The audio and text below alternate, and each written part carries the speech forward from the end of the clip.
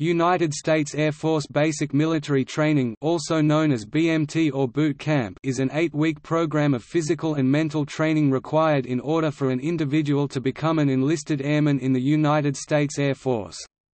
It is located at Lackland Air Force Base in San Antonio, Texas.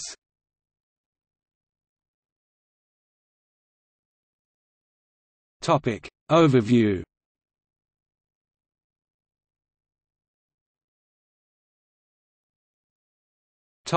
History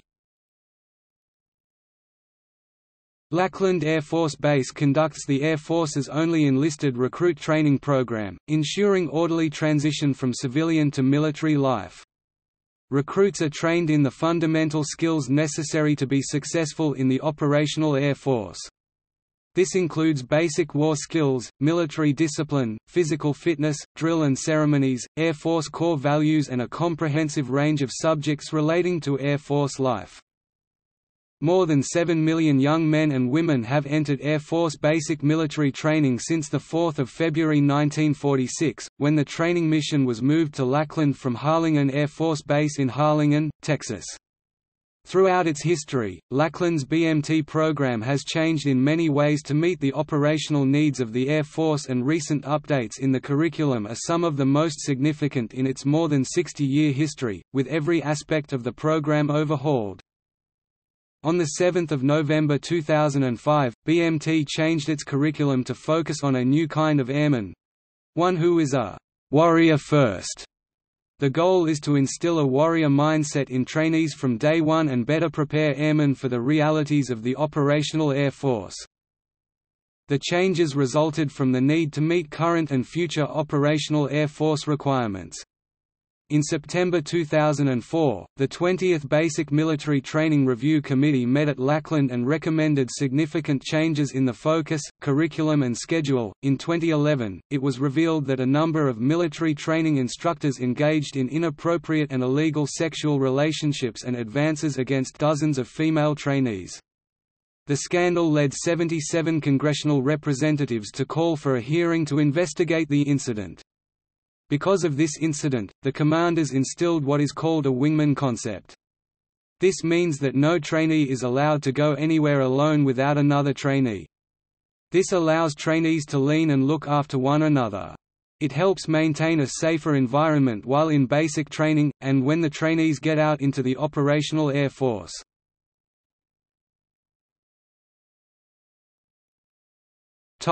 Military training instructor Military training instructors, or MTIs, are the instructors who are responsible for most of the training that takes place in BMT. They accompany trainees throughout the training process, instructing and correcting them in everything, from correct procedures for firing a weapon to the correct way to speak to a superior. They are known for their campaign covers typically called, "'Smokey the Bear' or "'Smokey' hats. Unlike the Marine Corps drill instructors and Army drill sergeants, training instructor hats are a dark blue instead of brown.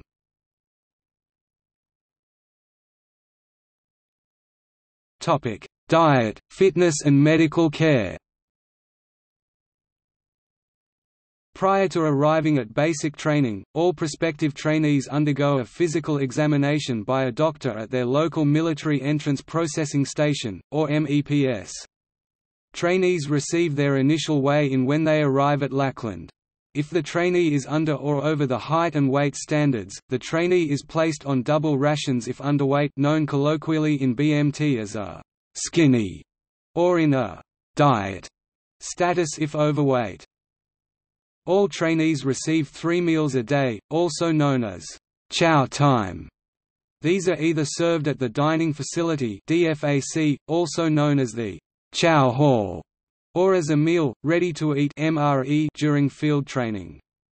Meal time may last 30 minutes or less, depending on the order the flight arrives at the chow hall.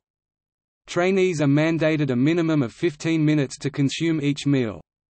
Much of the 15 minutes may be spent waiting in line, trainee chow runners, reporting in the chow hall and removing, properly storing and redonning any carried equipment. Trainees that sustain injuries or illnesses that disrupt their training are transferred to the medical hold flight. Once they are again medically fit, the trainee will generally return to their prior training squadron as part of a flight currently at an equivalent place in the training cycle that they left.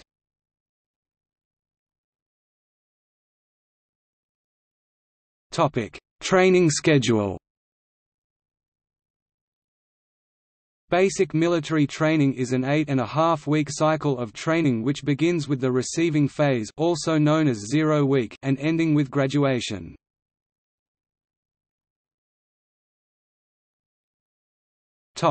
Week zero Inbound trainees are transported to Air Force Basic Military Training at Lackland Air Force Base. Upon arrival at Lackland, trainees will be assigned to a squadron and a flight. Trainees will then be rushed up to their dorm rooms where they will be given a bed and a wall locker personal living area or PLA that they will take care of for the next eight and a half weeks. They will also be briefed on meal-time procedures in the dining facility and other essential ground rules that will apply throughout the duration of basic training. As the initial uniform issue is not until the following Thursday or Friday, trainees will be required to wear civilian clothes for at least one full day. During this period, trainees will be referred to as a «rainbow flight» or simply as «rainbows» because of the flight's bright and varied clothing.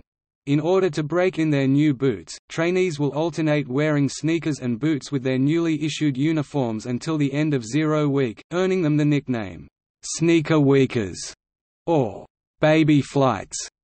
After first clothing issue, civilian belongings and baggage will be secured and stored for the remainder of BMT. Trainees will undergo a urinalysis test the day after arrival. Any trainee who fails the drug test will immediately be separated from the military. The trainees are given an opportunity to phone a family member to inform them of safe arrival and mailing instructions, then are searched for contraband. This is called a shakedown. Next, males receive their first military haircut, often called a buzz cut, where they are left essentially bald. Females are instructed in the authorized hairstyling, which allow hair to be short enough to not touch the collar or in a bun. Zero week lasts only until the first Sunday when trainees can attend the religious service of their choice. There are a wide range of religions represented at Lackland. Sunday is the non-duty day each week in basic training.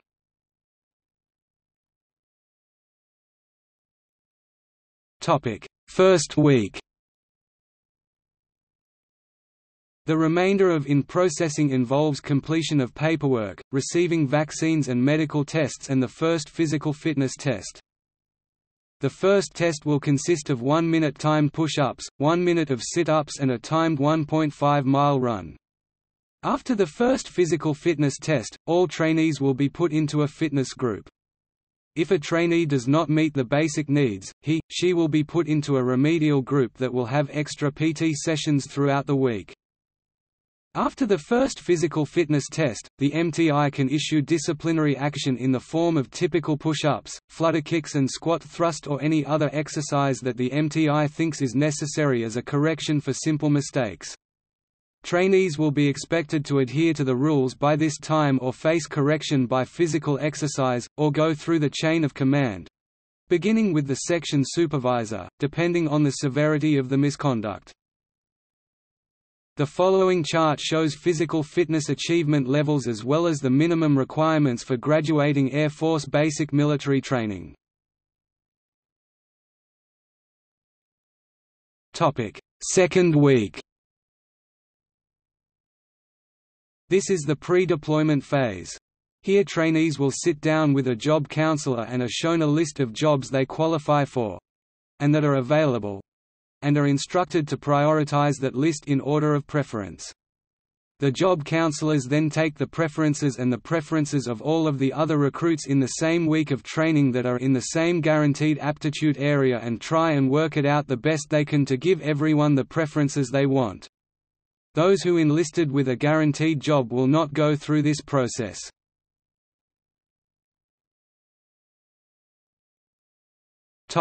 Third week Trainees undergo extensive training with the M16. Trainees will learn and practice the rules for safe use and handling of the weapon. They will also receive training in how to assemble, disassemble, clean and repair the M16.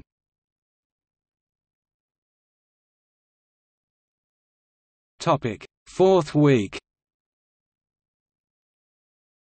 In week 4, trainees will attend the FEST courses teaching them the basics needed to move onto the Beast during the fifth WOT. Activities include basic rifle fighting techniques, crawling through a sand course and learning how to move in columns and use proper hand signaling. Trainees will also go through CBRNE chemical, biological, radiological, nuclear, and high-yield explosives training and learn how to counter threats such as terrorism, biological and chemical weapons and security breaches. Included in the CBRNE training is gas mask and MOPP gear training, where trainees will be exposed to CS gas. Trainees also take official BMT portraits during the fourth week.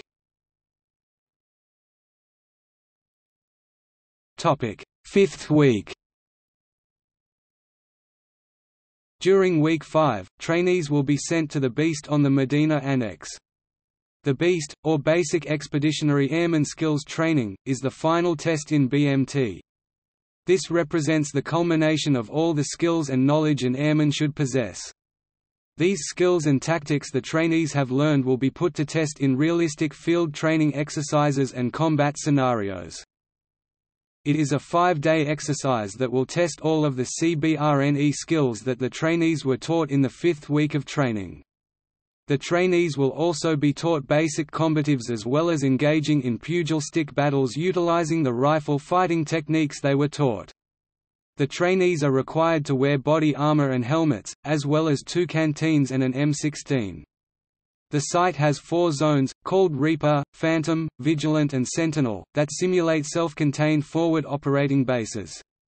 Each zone is a ring of ten field tents for barracks, centered around a three-story observation tower and a hardened briefing facility that serves as an armory and bomb shelter. The zone is defended by five sandbag defensive firing positions and trainees control access to the zone through an entry control point. The trainees will also visit CATM where they will fire and qualify using an M16A2 rifle. During the actual firing, trainees will fire at a man-sized target at 75 yards, 180 yards and 300 yards in the standing, sitting, kneeling and prone positions.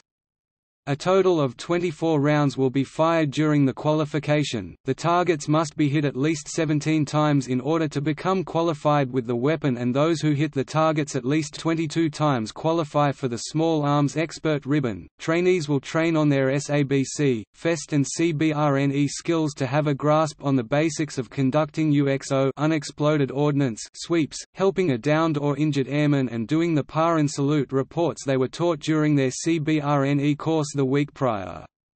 They will be taught how to identify potential threats and who to report them to in their chain of command. Beast Week will be almost entirely devoted to scenario training. As they take advantage of more field time to hone their newly acquired infantry skills, the trainees also will have more hands-on instruction in buddy care, culminating in an evaluation for each zone to see which zone has the won the coveted title of Beast Excellence which is announced at the Culmex ceremony on Friday afternoon. The Beast site includes a 1.5-mile improvised explosive device trail littered with simulated roadside bombs. Trainees learn to spot IEDs and then use the trail in training scenarios. For example, under one scenario trainees make their way down the lane in tactical formation, trying to identify IEDs from the other debris such as soda cans. At the end of the trail, trainees are broken into teams of two wingmen and negotiate a combat obstacle course low crawl, hide behind walls, roll behind barriers, strike dummies with the butt of your rifle, high crawl 60 yards through deep sand up a 40% grade. Trainees will also go participate in a CLAW mission during Beast Week. CLAW stands for Creating Leader Airmen Warriors. The CLAW mission consists of traversing a simulated river using the instructions and supplies on hand which stresses teamwork. They will then move in staggered tactical formation to another checkpoint where they will work on their SABC skills, then they will go through the combat obstacle course that was mentioned above. The biggest test is the village in which the chalks of trainees will have to either rescue a «downed» airman and evacuate the training dummy or they will have to neutralize the targets and «simulated» gunners in the village while sustaining as few casualties as possible. Teamwork is stressed, as the majority of tasks are completely impossible without it. Each group must succeed or fail as a whole. The others will result in failure unless every trainee passes through together, requiring the team to aid its fellow trainees who struggle in the accomplishment of the given mission.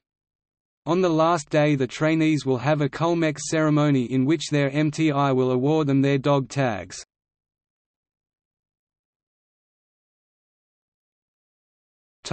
Sixth week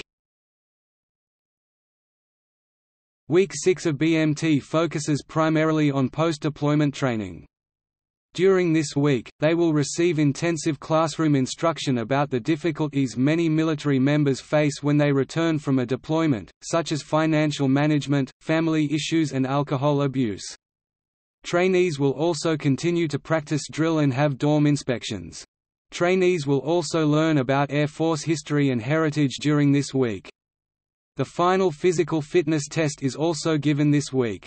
Trainees who fail the final PT test will be transferred to the Get Fit flight, thereby providing the trainee extra time to improve fitness scores.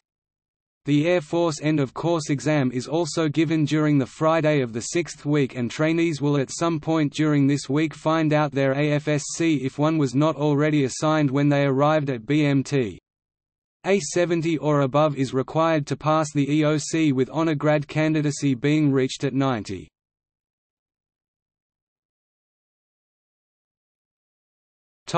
Seventh week final week, graduation On the final Thursday of BMT, all trainees will participate in the 1.5-mile run known as the Airman's Run. The run is a victory celebration of the challenges overcome and esprit de corps gained by airmen during training. Family and friends will be able to attend the day's events and see their loved ones for the first time since the start of basic training. The Airman's Run will be followed by the coin and retreat ceremony. Trainees will be presented with the Airman's Coin which signifies the transition from trainee and have earned the right to be called an airman. After the airmen are dismissed, they will be able to spend the remainder of the day with loved ones. Friday is the graduation parade. The flights will pass in review, take their final oath of enlistment and are then dismissed which marks the end of Air Force basic military training and the beginning of an airman's career. Family and friends will be able to see their airmen's living quarters at the dormitory, tour the base and San Antonio following the ceremony. The weekend will be spent returning to the flight in the evening and spending the daylight hours on Base Liberty or Town Pass.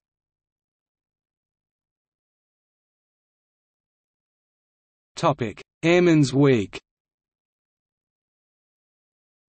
Starting in March 2015, BMT was altered. Graduation occurs during the seventh week and the weekend after graduation. The new airmen are moved to the Airmen's Week dorms, generally into a dorm with people going to the same technical training bases as themselves. During this week, airmen participate in classes and activities designed to help them become more independent thinkers and to make them aware of some of the problems facing young airmen in both tech training and beyond, including mental, academic and social stresses that often affect new airmen. During this week, airmen are granted more freedoms, to include base liberties after duty hours and a more relaxed dining facility, with airmen no longer being required to march and are now allowed to talk to each other and classroom sessions are mixed gender. Monday morning following the end of Airmen's Week, all airmen will proceed to the appropriate technical training school for their Air Force Specialty Code. This technical training typically lasts anywhere from one month to over two years.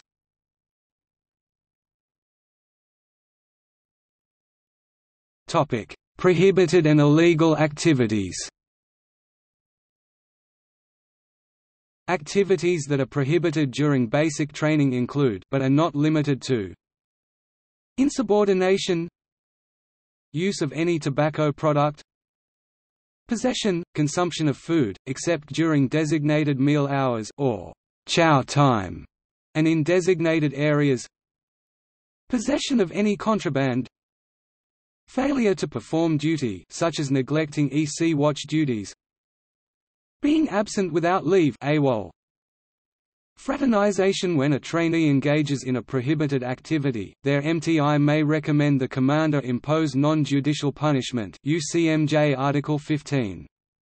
An Article 15 is a type of disciplinary action also known as non-judicial punishment and can entail any or all of the following Restriction to specific limits normally work, dorms, place of worship, mess hall and medical facilities for up to 45 days Extra duty for up to 45 days, usually meaning that the trainee's personal time is replaced with work detail. Forfeiture of up to one month's pay over a period of two months. Reduction by one grade of rank demotion, which also means a permanent pay reduction until the trainee is promoted again. Verbal or written reprimand. Topic: Discharge from basic military training A trainee can be discharged from the Air Force before the conclusion of basic military training. Discharges that occur before the completion of 180 days approximately six months of training are considered uncharacterized, which are neither honorable nor less than honorable. An entry-level separation can occur when a trainee demonstrates unsatisfactory performance and or misconduct. A trainee can only be ELSed after at least four weeks of training and two counseling sessions, except under extreme circumstances, such as the trainee being deemed suicidal. If it is found that a trainee is unable to train due to a chronic medical condition, he or she may obtain a medical discharge by the recommendation of an Air Force medical doctor. This is also considered an uncharacterized discharge and an ELS is given in these circumstances. A discharge due to any condition existing prior to service EPTS may occur when a trainee is found to have a prior medical condition existing before enlistment. A trainee may receive a rare honorable discharge for an EPTS condition if they have been in basic training for more than 180 days.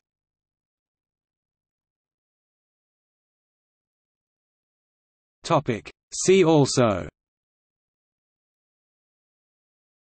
Air Force Training Ribbon Officer Training School United States Air Force Fitness Assessment